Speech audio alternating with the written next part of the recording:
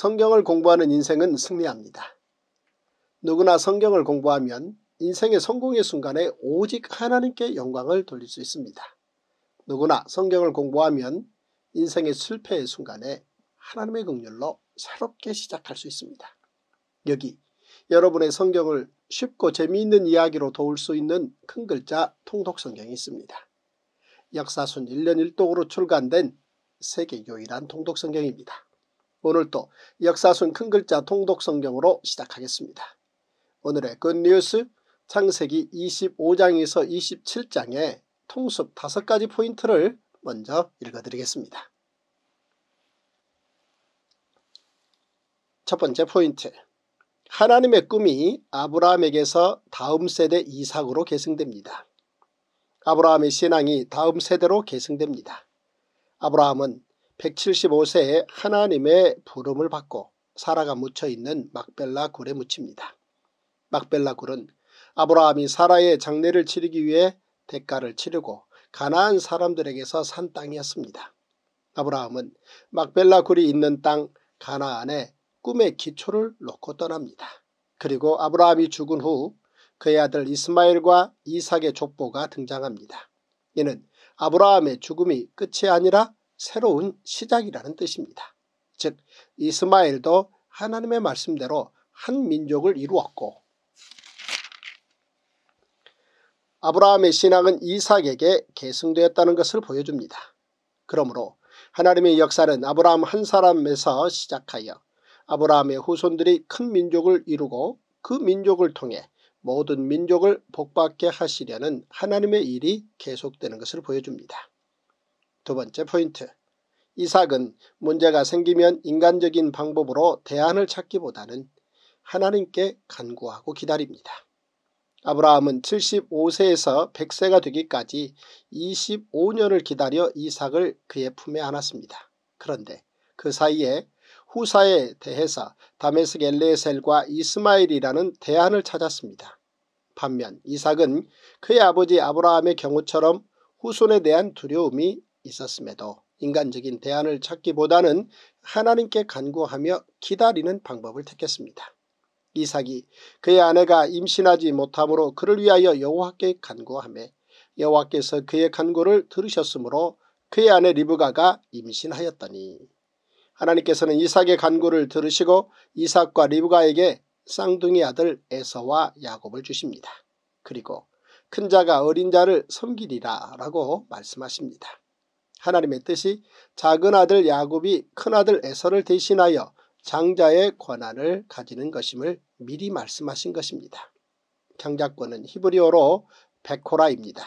이는 첫 해를 여는 자라는 뜻으로 가족 대표로서의 권한과 다른 형제들보다 두 배 많은 재산을 상속받는 권한을 가지는 것입니다. 장자권의 문제는 결국 에서와 야곱의 갈등을 야기시킵니다. 그러나 장자의 축복을 받은 야곱은 하나님의 예언의 성취이기도 합니다. 세 번째 포인트 이삭 순종으로 기적을 체험하고 양보로 품위를 보여줍니다. 모리아산에서 이삭의 순종은 아들이 아버지에게 그리고 피조물이 창조주 하나님께 할 수 있는 최상의 순종을 보여준 것이었습니다. 그 순종의 사람 이삭이 이제 양보하는 일로 세상을 또 한 번 크게 놀라게 합니다. 아브라함 때처럼 이삭도 흉년을 맞습니다. 하나님께서는 이삭에게 애굽으로 내려가지 말고 지시하는 땅에 거주하라고 말씀하십니다. 그리고 아브라함에게 주셨던 땅과 자손에 대한 말씀을 이삭에게도 해주십니다. 이삭은 하나님의 말씀에 순종하여 애굽으로 내려가지 않고 흉년임에도 그 아래서 농사를 짓습니다. 그러자 하나님께서는 이삭에게 백배의 결실을 맺게 해주셨습니다. 백배 결실은 콩 심은 데 콩 난다는 인과율의 법칙이 아닙니다. 자연적 원리를 넘어선 하나님의 직접적인 기적이었습니다. 풍년과 흉년은 하나님께서 하시는 일이라는 사실을 이삭을 통해 이후에 야곱과 그의 아들 요셉까지도 알게 되었습니다. 그렇게 블레셋의 땅 그랄에서 이삭이 백배의 결실을 통해 거부가 되고 점점 창대해지자 그랄 사람들이 아브라함 때 아브라함의 종들이 파놓은 우물을 흙으로 메워버립니다. 그러자 이삭은 그들과 문제를 일으키지 않으려고 거처를 그랄 골짜기로 옮기고 다시 우물을 팝니다. 그런데 이번에는 그랄의 목자들과 이삭의 목자들이 우물을 가지고 다투는 일이 생깁니다. 그런데 이삭은 그랄의 목자들에게 우물을 양보하고 또다시 우물을 파면서 끝까지 그랄의 목자들과 다투지 않았습니다. 이삭은 언제나 온유함으로 사람들을 대했고 양보로 하나님을 믿는 사람의 고상함과 품위를 보여주었습니다.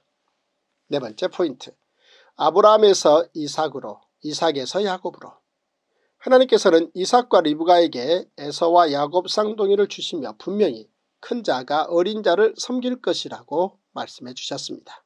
그렇다면 이삭과 리브가는 에서와 야곱을 기르면서 하나님의 말씀과 하나님의 마음을 헤아려 이 문제를 지혜롭게 해결해야 했습니다. 그런데 이삭과 리브가는 각자 자신의 생각대로 에서와 야곱을 편애했습니다.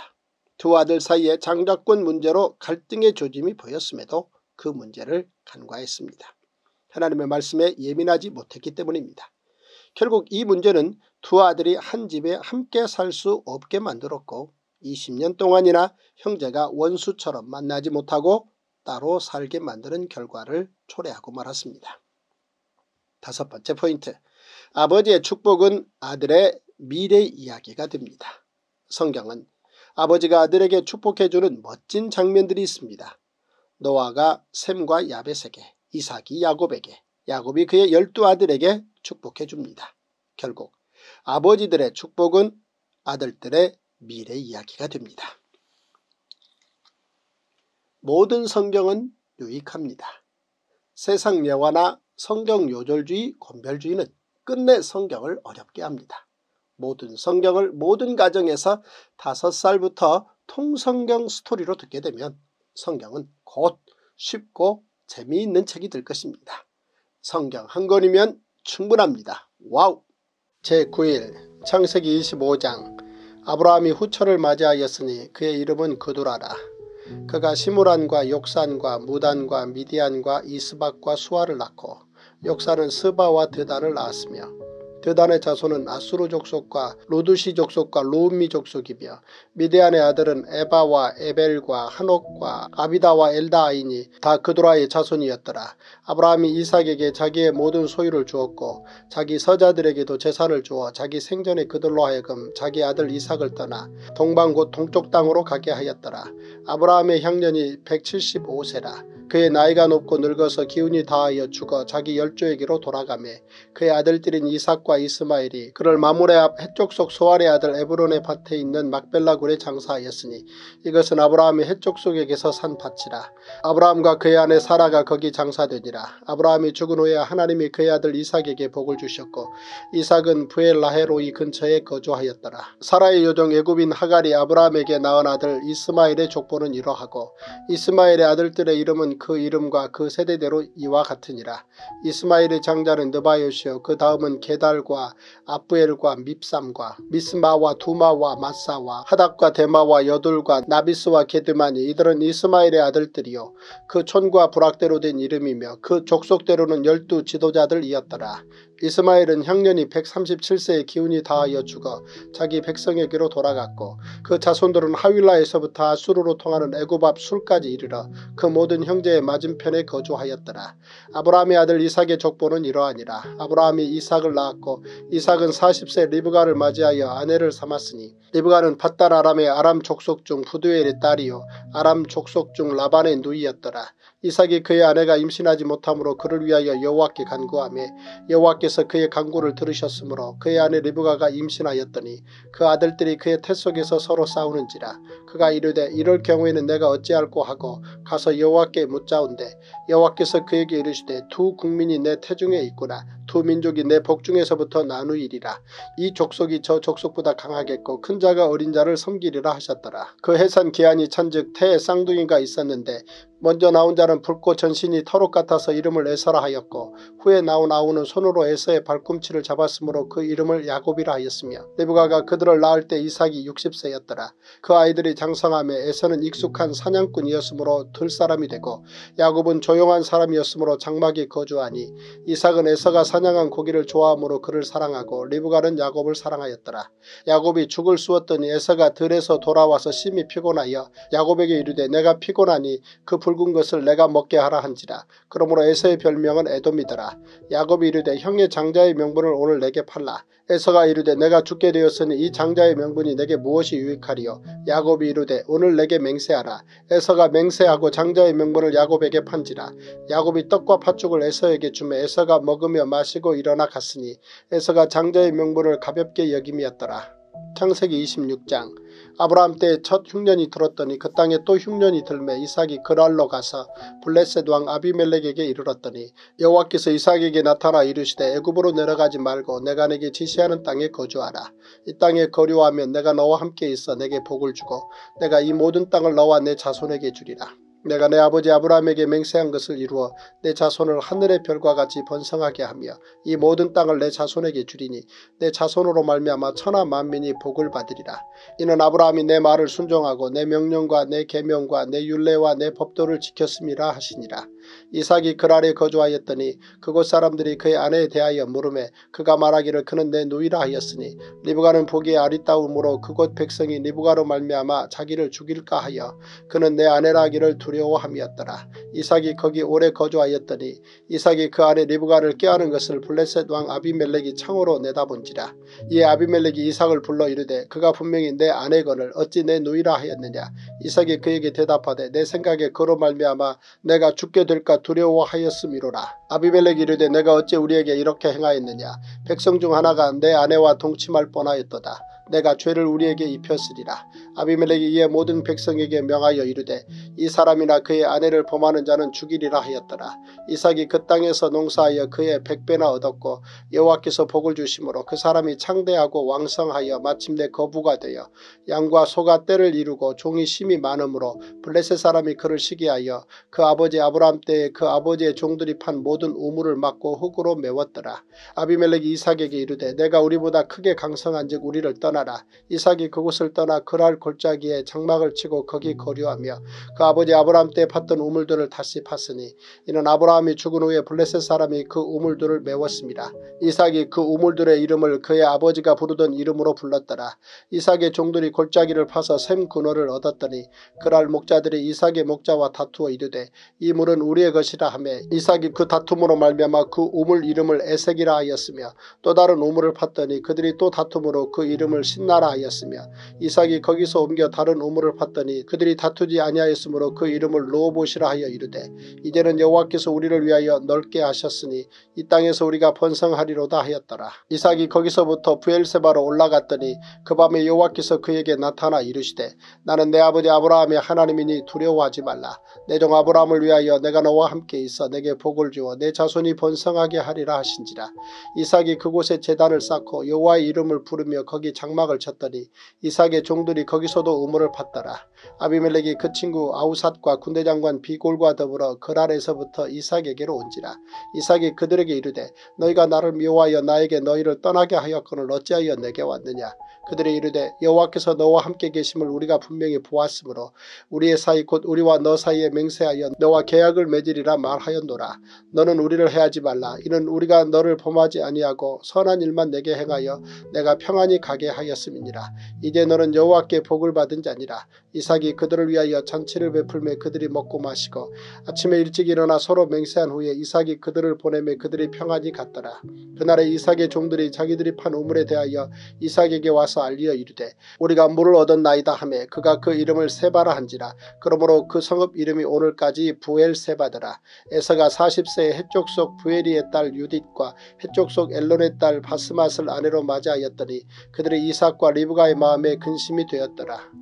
창세기 27장 이삭이 나이가 많아 눈이 어두워 잘 보지 못하더니 맏아들 에서를 불러 이르되 내 아들아 하매 그가 이르되 내가 여기 있나이다 하니 이삭이 이르되 내가 이제 늙어 어느 날 죽을는지 알지 못하니 그런즉 내 기구 곧 화살통과 활을 가지고 들에 가서 나를 위하여 사냥하여 내가 즐기는 별미를 만들어 내게로 가져와서 먹게 하여 내가 죽기 전에 내 마음껏 내게 축복하게 하라. 이삭이 그의 아들 에서에게 말할 때에 리브가가 들었더니 에서가 사냥하여 오려고 둘로 나가매 리브가가 그의 아들 야곱에게 말하여 이르되 내 아버지가 내 형 에서에게 말씀하시는 것을 내가 들으니 이르시기를 나를 위하여 사냥하여 가져다가 별미를 만들어 내가 먹게 하여 죽기 전에 여호와 앞에서 내게 축복하게 하라 하셨으니 그러즉 내 아들아 내 말을 따라 내가 내게 명하는 대로 염소떼에 가서 거기서 좋은 염소 새끼 두 마리를 내게로 가져오면 내가 그것으로 내 아버지를 위하여 그가 즐기시는 별미를 만들리니 내가 그것을 내 아버지께 가져다 드려서 그가 죽기 전에 내게 축복하기 위하여 잡수시게 하라. 야곱이 그 어머니 레브가에게 이르되 내 형 에서는 털이 많은 사람이요 나는 매끈매끈한 사람인즉